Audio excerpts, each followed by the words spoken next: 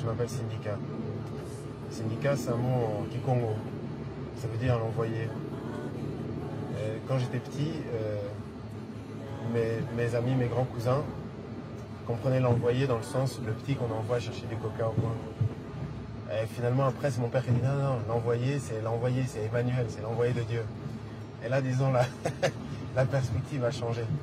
En fait, je m'appelle syndicat parce que je suis né juste en 72, juste avant la, la zérénisation. On a eu un phénomène culturel chez nous qui était très fort, qui était un peu dans le, registre de, la révolution culturelle euh, maoïste en Chine.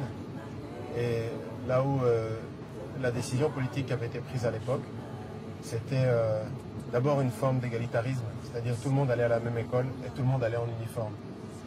Les garçons n'avaient plus le droit de porter, et les hommes n'avaient plus le droit de porter des cravates. Les filles n'avaient plus le droit de porter des, pantalons. Et on n'avait plus le droit à des prénoms chrétiens. Et mine de rien, c'est quand tu le remets dans la perspective historique, et que maintenant qu'on a fini l'ère Mobutu et qu'on est passé au XXIe siècle, peut-être il y a une dimension ridicule, mais en fait ça a marqué toute une génération. Moi par exemple, mon identité procède fondamentalement de cette révolution culturelle. Et même si elle le projet politique a abouti à un échec, c'est quelque chose que je porte en moi. Donc si tu veux, c'est très particulier parce que je ne, je ne peux pas... Pour moi, le, le- contexte historique, la manière dont je me situe par rapport à là d'où je viens, les gens qui étaient là avant moi, les combats qui ont été menés avant moi, c'est un truc qui est fondamental et qui m'a marqué. Syndicat, c'est intéressant. J'ai décidé tous mes, tous mes enfants ont des prénoms africains. Mon fils, mon premier fils s'appelle Yenge. Yenge, c'est en Kikongo, ça veut dire le bonheur. Euh, ma fille s'appelle Haïlé. Haïlé, c'est un nom éthiopien. C'est un nom de, l'empereur d'Éthiopie, Haïlé, Sélassie. C'est un nom de garçon. Et un nom qui veut dire le grand. Donc il y a un nom qui est un prénom qui est très fort, mais avec en même temps une esthétique qui est très féminine. Et mon dernier fils s'appelle Kwame. Comme euh, bon, Kwame, le nom me plaisait, mais Kwame Nkrumah, c'est celui, le premier noir qui a fait son indépendance en dehors, sur le continent africain, disons, en dehors de- d'Haïti. Euh, Et donc tu as grandi à Kinshasa, dans quel quartier? Non, je n'ai pas grandi à Kinshasa. Je suis né à Kinshasa, à la clinique danoise. Ma mère est danoise, elle était infirmière. D'ailleurs, c'est intéressant, ma mère s'est fait virer de la, Croix-Rouge danoise parce qu'elle sortait avec un noir divorcé. Euh, C'était en 72, mais il n'y a pas longtemps. Et puis les Danois, les Scandinaves sont des gens réputés ouverts d'esprit. Mais c'est un truc euh, dont aussi je suis le résultat. Euh, mon père est quelqu'un euh, pour lequel le choix était très facile. Parce que le système colonial raciste des Belges était tellement évident que tous les gens euh, normaux, et notamment tous les Noirs d'office, étaient forcément contre le projet colonial. Donc tout le monde était engagé politiquement dans un choix qui est très clair.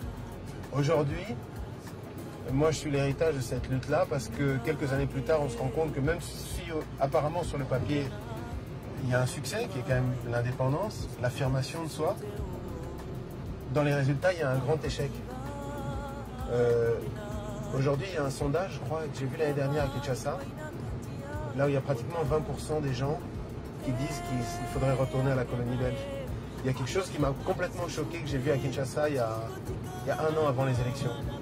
Oh, Je ne sais pas quel, quel imbécile on avait comme ministre de la Culture à l'époque. Il faudrait que je retrouve son nom, mais je n'aime pas accuser les gens en l'air. Je suis arrivé à Kinshasa, j'ai vu qu'ils étaient en train de porter la statue du roi Léopold sur son cheval et ils voulaient la remettre. Et ils l'ont remise au bout de notre. euh, sur, nos Champs-Élysées à nous, sur, notre place de l'étoile à nous.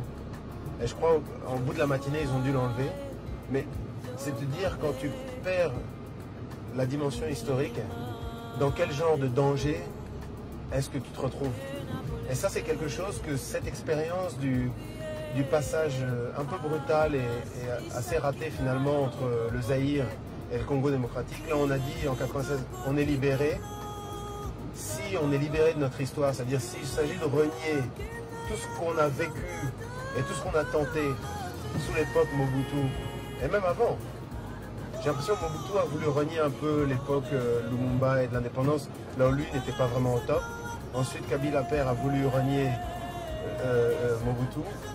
Quelque chose que je trouve intéressant maintenant qu'on est en train de vivre dans le Congo contemporain, c'est qu'on a un président Kabila, euh, Joseph Kabila Kabange, qui, est, qui mon âge, il a 35 ans, 36 ans, Il a pris comme euh, Premier ministre le vieux Gizenga qui était le bras droit de Lumumba, donc pire ennemi de, Mobutu.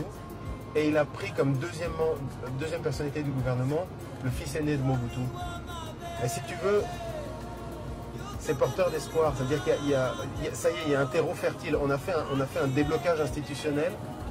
Mais maintenant, il faut savoir culturellement qu'est-ce que ça nous apporte et est-ce que cette prise de conscience s'opère.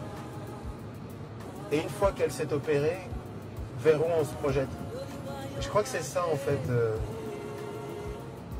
le, phénomène déclencheur, peut-être ce qui a donné de la valeur ajoutée à la démarche de collectionneur. Ce qui fait que je ne peux pas être qu'un collectionneur.